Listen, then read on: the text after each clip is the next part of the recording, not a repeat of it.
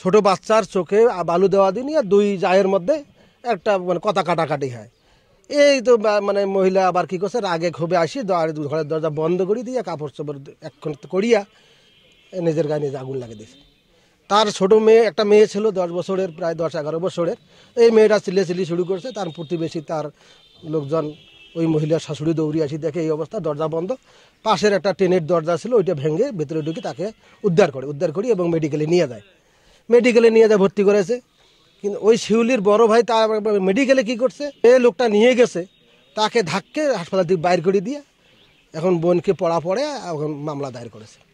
তা আমরা এলাকাবাসী এই মানববন্ধন মানববন্ধন করতেছি এই মর্মে যে এই ছেলেটা নির্দোষী, যেন সে আর সাজা না খাটে এবং প্রকৃত যে যে আব্দুল মালেক মামলাটা সাজাইছে, তার কঠিন শাস্তি বিচার দাবি করতেছি।